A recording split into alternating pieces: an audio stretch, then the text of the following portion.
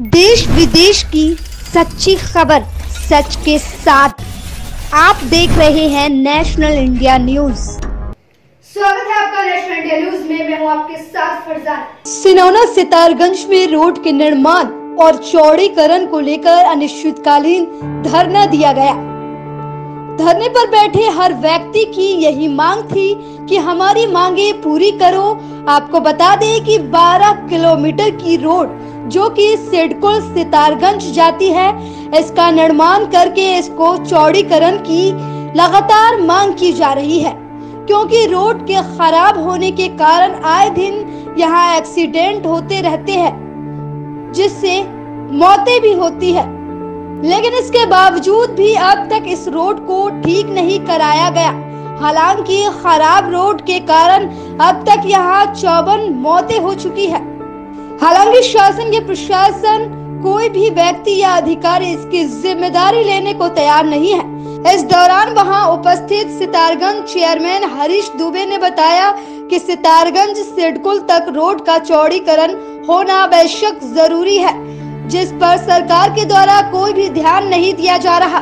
चलने वाले ट्रक और डंपरों से आए दिन आने जाने वालों की मृत्यु हो रही है, लेकिन शासन प्रशासन जागने को तैयार नहीं है। वही धरने पर उपस्थित हेमचंद्र ने बताया कि हमारी मांग लंबे समय से चल रही है। इन सड़कों को सही किया जाए, लेकिन किसी का भी पैच, लेकिन किसी का भी ध्यान इन रोडों की तरफ़ नहीं जा रहा। इस रोड से करीब तीन हज़ार डंपर और ट्रक निकलते हैं, जिसकी वजह से स्कूल के आने जाने वाले बच्चों को भी खतरा हो सकता है। और जो व्यक्ति सिडकुल कंपनियों में काम करते हैं, जाने के बाद भरोसा नहीं है। कि वह व्यक्ति अपने घर वापस आएगा या नहीं इन सभी समस्याओं को लेकर सिनोना स्थानीय सभी लोग धरने पर बैठे हुए हैं धरने पर बैठे हुए आज चौथा दिन हो गया है लेकिन प्रशासन का कोई भी व्यक्ति हाल तक पूछने नहीं आया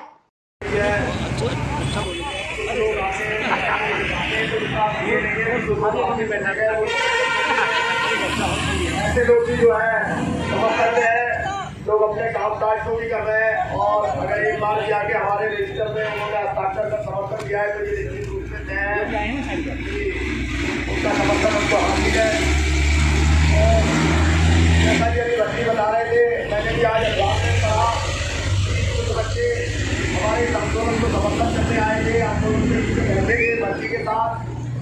तो फ़ोटो खींच लेने से हमको लाभ खड़ा क्यों कर दे रहे? हमको आज हम सिसोना रोड पर खड़े हुए हैं। यहाँ रोडों को लेकर के एक धरना दे रखा है।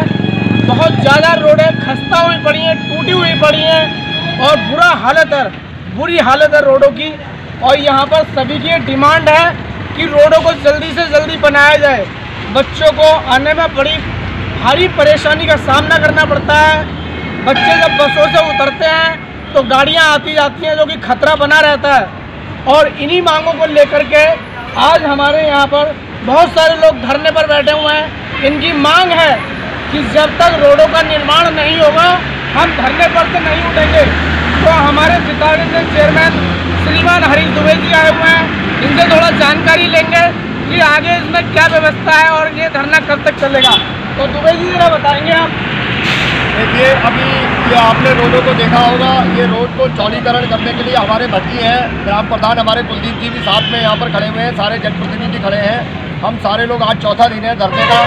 हम सारे लोग ये चाहते हैं कि रोड का चौड़ीकरण हो, चौड़ीकरण होने के बाद ताकि यहाँ पे बच्चे, आपने देखे होंगे स्कूल से जो बच्चे आ रहे हैं, वो सुरक्षित नहीं है। यहाँ के लोग सुरक्षित नहीं है। कई हादसे हो चुके हैं, कई लोगों की जाने जा चुकी हैं। इसी बात को लेकर हम लोग जो है कि धरना प्रदर्शन पर बैठे हुए हैं। आज चौथा दिन है।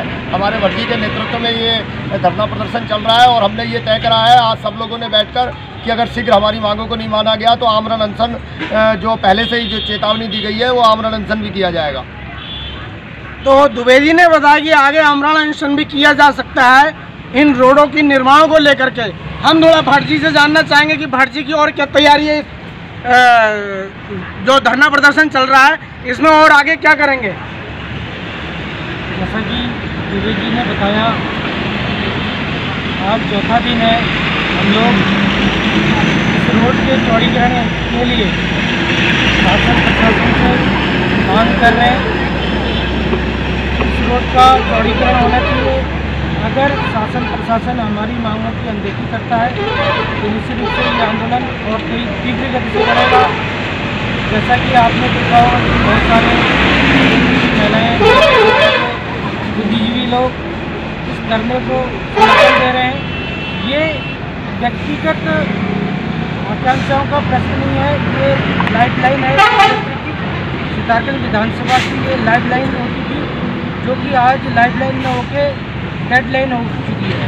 पुनीर सड़क के रूप में इसका नामकरण किया जा रहा है। तमाम मौतें हो चुकी हैं। पिछले दिनों एक वीरेंद्र सिंह राणा जी जिनकी मौत इसी सिसोना चौराहे पे ट्रक के चलने से हुई थी जिसके शव को सिसोना चौराहे पर रख के हम लोगों ने प्रदूषण किया था।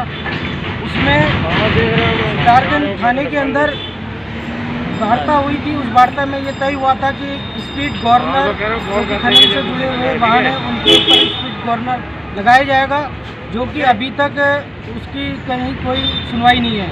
माननीय प्रमोद कुमार जी जो सीओ हैं ट्रैफ़िक पुलिस उधम सिंह नगर के उनके साथ हमारी वार्ता हुई थी उन्होंने बोला था हम यहाँ शीघ्र ही इसमें स्पीड गवर्नर लगा देंगे। लेकिन अभी तक उसमें कोई कार्रवाई हुई नहीं है।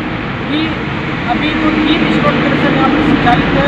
टिकट भविष्य में लगभग दस स्टोन क्रेशर यहाँ पर संचालित होगा हमारी डिमांड है कि इन स्टोन क्रेशरों के जो मार्ग है, उसका वैकल्पिक मार्ग बनाया जाना चाहिए और अगर जब तक वैकल्पिक मार्ग नहीं बनता है, तब तक स्कूल के आने जाने के समय और छुट्टी के समय वो एंट्री ओर इस क्षेत्र में होना चाहिए। इन समस्याओं को लेकर कुछ दिनों पहले आश्वासन दिया गया था, लेकिन अभी तक किसी भी समस्या का निस्तारण नहीं हुआ है। इसी तरीके से सितारगंज की शक्ति फार्म की सिरसा मोड़, बहुत सही रोड है, आसपास के क्षेत्रीय खराब है। शक्ति फार्म के अंदर भी धरना दिया जा रहा है रोडों को लेकर के, लेकिन रोडों का निर्माण नहीं किया जा रहा है। अब इनको जो आश्वासन दिए जा रहे हैं, वो आश्वासन अभी आश्वासन ही है। कोई भी काम इस तरीके से नहीं किया जा रहा जो इनको लगे कि हाँ हमारा काम हो रहा है। इंडिया न्यूज़ से अश्वनी दीक्षित की रिपोर्ट। धन्यवाद। देश विदेश की सच्ची खबर, सच के साथ। आप देख रहे हैं नेशनल इंडिया न्यूज़